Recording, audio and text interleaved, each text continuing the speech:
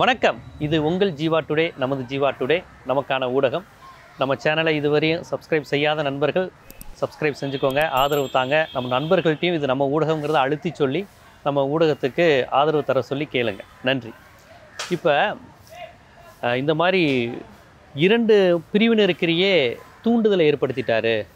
ஒரு மதத்துக்கு எதிராக பிரச்சாரம் செய்து விட்டார் அப்படின்னு இந்திய தேசிய லீக்கினுடைய மாநில தலைவர் தடா ரஹீம் வந்து கைது செய்யப்பட்டிருக்கிறார். அவர் மீது தேசிய பாதுகாப்பு சட்டத்தை பாய்ச்சணும். தேசிய பாதுகாப்பு சட்டத்தின் வ- அடிப்படையில் அவரை கைது செய்யணும்னு இந்து முன்னணி வந்து புகார் கொடுத்துருக்கு.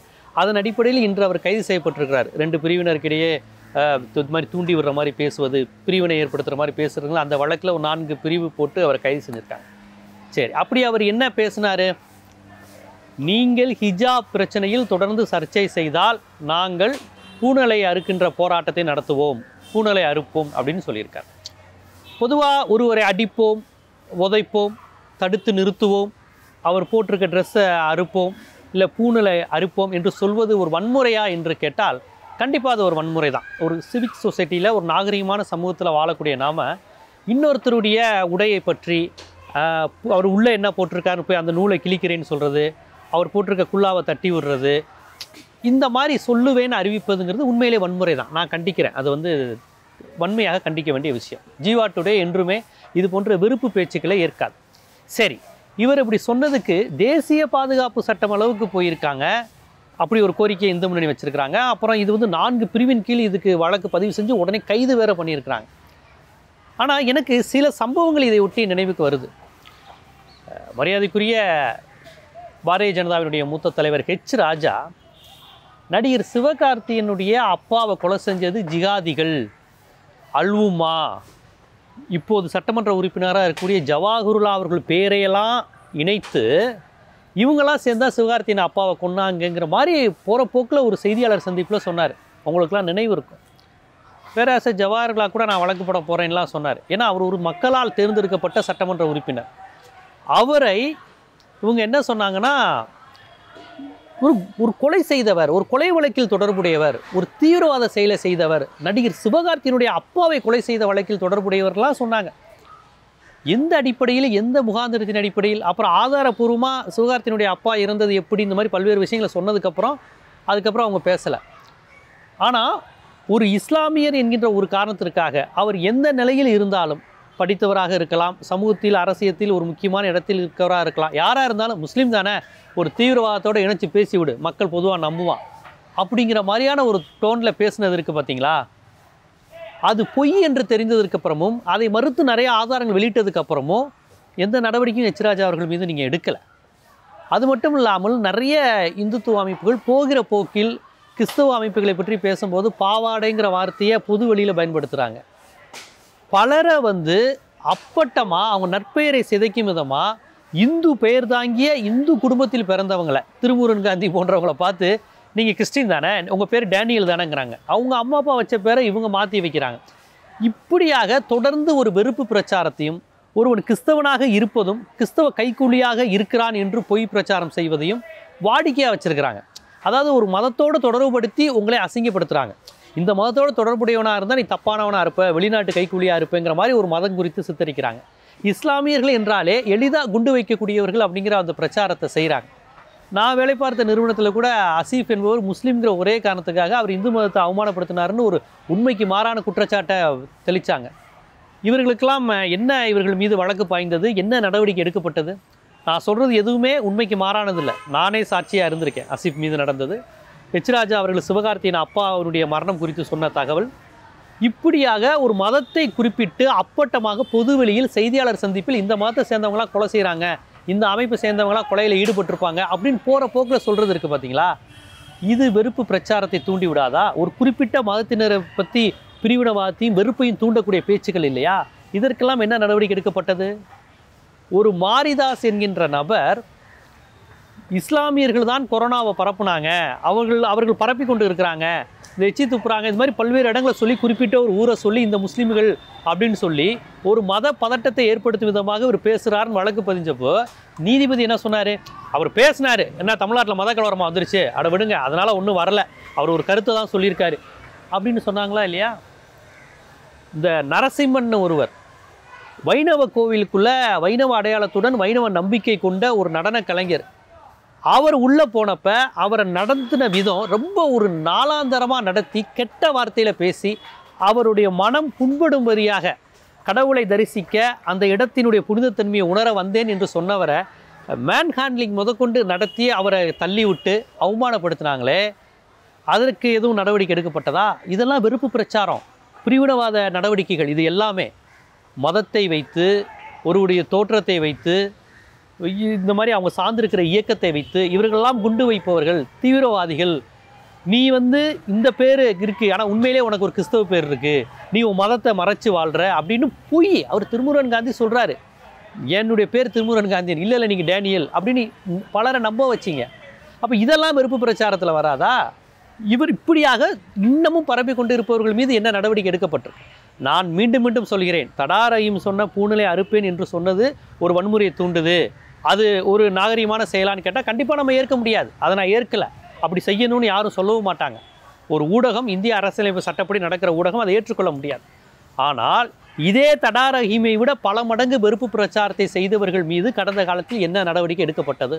இன்னும் சொல்லப்போனால் அந்த தலைவர்களுக்கெல்லாம் காவல்துறை பாதுகாப்புடன் வந்துட்டு போகிறாங்களே என்ன வேணாலும் வெறுப்பு பிரச்சாரம் செய்யலாம். எந் சிறுபான்மை மக்கள் மீது என்ன வேணாலும் அவதூறு விதிக்கலாம்னு பேசி இருக்கிற ஒரு தன்மையை எப்படி புரிந்து கொள்வது ஏன்னா சட்டம் பாய்வதாக இருந்தால் எல்லோர் மீதும் சமமாக பாயணும். கிறிஸ்தவர்கள் இஸ்லாமியர்கள் இந்துக்கள் அப்படி இந்த கட்சி அந்த கட்சி ஆளும் கட்சின்னு பார்க்காம பாயணும்.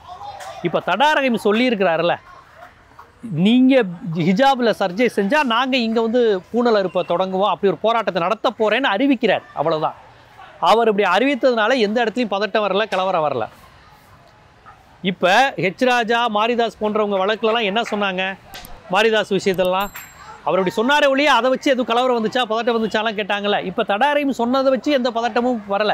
ஆனால் நான்கு பிரிவின் கீழ் பிரிவினவாதத்தை தூண்டுறாரு இரு பிரிவினர் மத்தியில் மோதல். அப்படி எந்த சூழலும் தமிழ்நாட்டில் இல்லை. அவர் சொல்லி இது நடந்துரும் அப்படின்னு இவ்வளோ கைது செய்கிறவங்க ஏன் அவர்கள் மீது? இதே போன்ற வெறுப்பு பிரச்சாரத்தை அப்பட்டமாக ஒரு மதத்தை தடாரஹீம் வந்து சொன்னது குறிப்பிட்ட பிரிவினரை ஒரு ஆதிக்கத்தின் குறியீடாக இருக்கிறத சொன்னார். இந்து மக்களை பற்றி விமர்சிக்கலை. இன்னும் சொல்ல போனால் அவர் அப்படி பேசினதை உடனே இன்னொரு முஸ்லீம் தலைவரான பேராசிரியர் ஜவாஹர்லாம் உடனே கண்டிச்சார். பூனல் அறுப்பு மாதிரி போராட்டம்லாம் பண்ணாதீங்க பண்ணவும் கூடாது. இது இந்து முஸ்லீம் ஒற்றுமையை பாதிக்கும். இப்படிலாம் பேசுவது கூட தவறுன்னு யார் சொல்கிறா பிஜேபிக்காரரோ இந்துவோ வேற கட்சியோ இல்லை. இன்னொரு இஸ்லாமிய அமைப்பே இப்படிலாம் பேசாதீங்க. ஏன்னா இது எதுக்கு வம்பா போயிடும் ஏற்கனவே சிறுபான்மையினரை எதுக்கு எடுத்தாலும் கைது செஞ்சுக்கிட்டு இருக்காங்க சந்தேகப்பட்டுக்கிட்டு இருக்கிறாங்க தவறே செய்யாமல் குற்றவாளிகளாக வாழ்ந்துக்கிட்டு இருக்க சூழல் இருக்குது அவலம் இருக்குது இந்த நிலையில் நீங்கள் வேற இப்படி அறிவிச்சு இதான் சாக்குன்னு பொய் கேஸை போட்டு நிறைய பேர் அரெஸ்ட் பண்ணிடுவாங்களோங்கிற ஒரு பயத்தில் இதுக்கும் நமக்கும் தொடர்பில்லை நாம் இதை ஏற்கவும் முடியாது இதை நாங்கள் ஏற்றுக்கொள்ள மாட்டோம்னு அறிக்கை விட்டார். யார்? இன்னொரு முஸ்லீம் அமைப்பு. இதுதான் தமிழ்நாடு. இங்கே இன்னொரு மதத்தையோ இன்னொரு பிரிவினரையோ தப்பாக ஒருத்தர் பேசினா உடனே தமிழ்நாடே பதறிக்கிட்டு அதை திருத்தும். இப்படி பேசக்கூடாது அப்படின்னு. இப்பேற்பட்ட நிலையில் அவரை கைது செய்த நீங்கள் உண்மையிலே பதட்டம் வரும் அளவுக்கு பேசியவர்கள் வெறுப்பு பிரச்சாரம் செய்தவர்கள் கொரோனா காலத்தில் ஒரு குறிப்பிட்ட மதத்தை நீங்கள் தான் நோய் பரப்புறீங்க. இஸ்லாமியர்கள் பக்கத்தில் போனால் கொரோனா வந்தவங்க அந்த நர்ஸு மீது எச்சு துப்பி விட்றாங்க. என்னென்னமோ பரப்பி விட்டாங்க. ஒரு நோயை ஒரு மதம் பரப்ப முடியுமா? ஒரு மதம் நோய் இருக்கிறவங்களுக்கு வரும் நோய் இல்லாதவங்களுக்கு வரும். அது எப்படி வந்து ஒரு நோயை பரப்புவதற்கு என்று ஒரு மதம் இருக்கும். இப்படி இப்படியாக அறிவியலுக்கு பொருந்தாமல் அறிவுக்கு பொருந்தாமல் ஒரு வெறுப்பு பிரச்சாரம் வன்ம பிரச்சாரம் நடைபெற்றதே. அப்போதெல்லாம் வழக்கு பாயலை. இந்து முன்னணி உடனே தேசிய பாதுகாப்பு சட்டம் பாயணும். அதுவும் பூனலை இது பண்ண உடனே. அப்படிங்கிறாங்க. நான் கேட்குறேன் மாட்டிறைச்சி தடை வந்தபோது இது இந்து மக்களில் பெரும்பான்மையாக இருக்கக்கூடிய ஆதி திராவிடர்கள் அருந்ததியர்கள் இன்னும் பிற மக்கள் இந்துக்களே விரும்பி சாப்பிடக்கூடிய மாட்டிறைச்சிக்கு தடை வந்தபோது அந்த மாட்டிறைச்சி சாப்பிட்டதுனால அடிக்கிறாங்கங்கிற விஷயம் வந்தபோது அப்போது நீங்கள் வந்து அவர்கள் மீது மாட்டிறைச்சியை தடை செய்தவர்கள் மீது இந்துக்களின் உணவான மாட்டிறைச்சியை தடை செய்தவர்கள் மீது நடவடிக்கை எடுக்கணும்னு நீங்கள் கேட்டிருக்கீங்களா? அப்போ இந்த இந்துக்களுக்கெல்லாம் நீங்கள் பாடுபட மாட்டீங்க. மாட்டு இறைச்சி சாப்பிடக்கூடாது மா மாட்டு இறைச்சி சாப்பிடணும்னு சொல்லக்கூடிய இந்துக்களுக்கு மாட்டு இறைச்சி வேணும்னு நினைக்கிற இந்துக்களுக்கு அப்போ அந்த பெரும்பான்மையான ஆதி திராவிடர்களும் அருந்ததியர்களும் இந்துக்கள் இல்லையா? மூன்று விழுக்காடு பார்ப்பனர்களுக்கு பூணலா அறுப்போ அப்படின்னு சொன்னதுக்கே எப்படியா? அவங்க மாட்டு இறைச்சிக்கே தடை விதிக்கணும். அவங்க சாப்பிட்ற உணவுக்கே தடை விதிக்கணும்னு சொன்னது எப்படி ஏற்புடையதாக இருக்குது இந்துக்கள் நான் இஸ்லாமியர்கள் விடுங்க இந்துக்களே பெரும்பான்மையோடு சாப்பிட்றாங்களா இருக்காங்களே? பெரும்பான்மையான இந்துக்களுக்கு சா பொது சாலையில் நடக்க முடியாது வந்ததே இந்துக்கள் தானே அவங்க? பெரும்பான்மையான இந்துக்களுக்கு கோவிலில் போக உரிமையிலன்னு வந்ததே அந்த இந்துக்களுக்காக ஏன் வரல? அப்போதெல்லாம் இதெல்லாம் ஒரு பிரிவினைவாத விருப்ப அரசியல் வன்ம அரசியல் இந்துக்களுக்கு பாதுகாப்புன்னு வரலை. ஆனால் பூனல் அறுப்புனோட நீங்கள் பாதுகாப்புங்கிறீங்க. அப்போ நீங்கள் யாருக்கான பாதுகாப்பு? இந்துக்களுக்கான பாதுகாப்பா? அவர்கள் குறிப்பிட்ட சமூகத்தினருக்கான பாதுகாப்பாங்கிறது வெட்ட வெளிச்சமாகுது. அது ஒரு பக்கம் இருக்கட்டும். இப்போ தடாரஹிம் இப்படி சொன்னதற்கே நீங்கள் இவ்வளோ பதறீங்களே அங்கு வந்து ஒரு குறிப்பிட்ட மதத்தை சேர்ந்தவர்கள் அவர்கள் விரும்புகிற ஆடையை அணியக்கூடாது என்றும் அப்படி அணிந்து வந்ததால் நீ எக்ஸாம் எழுதக்கூடாது. ஸ்கூலுக்குள்ளே மட்டும் இல்லை எக்ஸாமையே எழுதாமல் ஆறு பொண்ணுங்களை திருப்பி அனுப்பியிருக்கிறாங்க. கல்வி உரிமையை மறுத்திருக்கீங்க. வகுப்புரிமை என்பது ஒரு முஸ்லீம் பெண்ணின் உரிமை ஒரு இந்து பெண்ணின் உரிமை கல்வி கற்கிற அனைவருடைய உரிமை. முஸ்லீமுடைய பழக்க வழக்கத்தை பின்பற்றுகிறோம் என்று சொன்ன காரணத்துக்காக அந்த பெண்ணுடைய உரிமையை பறிச்சிருக்கீங்க. ஆர்டிகல் நைன்டீனை பறிச்சிருக்கீங்க. ஆர்டிகல் டுவெண்ட்டி ஒன்னை பறிச்சிருக்கீங்க. ஆர்டிகல் டுவெண்ட்டி ஃபைவ்ல வழங்கப்பட்டிருக்கக்கூடிய அவர்களுக்கான உரிமைகளை மறுத்திருக்கீங்க. இது வெறுப்பு அரசியல் இல்லையா? இது மத பாகுபாடு இல்லையா? இதை செய்து கொண்டு செய்து கொண்டு இருப்பவர்கள் செய்து கொண்டே இருக்கிறாங்க. இவ்வளவு செய்கிறீங்களேன்னு ஒரு வெறுப்பாகி எரிச்சலாகி விரக்தியாகி என்ன சிறுபான்மை மக்களை கண்டுக்க ஆளே இல்லையா?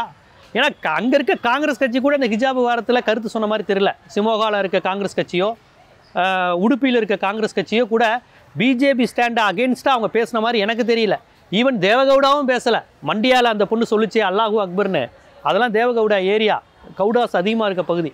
அவங்க அவங்க கூட இஸ்லாமியர்களுக்கு ஆதரவாக பேசலை. அவங்களாம் தான் இது முஸ்லீமோட ஓட் பேங்கை வாங்குறவங்க. அவங்களும் ஆதரவாக பேசலை. அப்போ ஒரு வெறுத்து போய் நமக்குன்னு யாரும் இல்லையா? இது என்ன இது? இந்தியா ஒரு ஜனநாயக நாடாச்சே.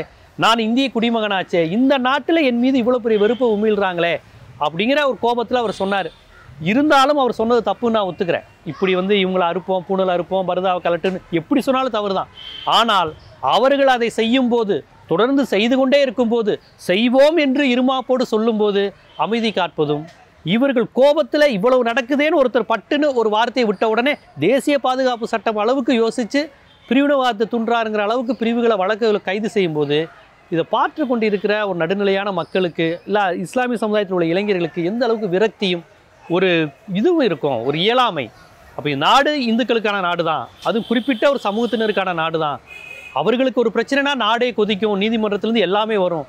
ஆனால் நம்ம வந்து ஒன்று சொன்னாலும் அடுத்த நிமிஷம் தீவிரவாதியாகவும் தேசிய பாதுகாப்பு சட்டம் பாயலாமான்னு யோசிப்பாங்க. உடனே கைதாகும்.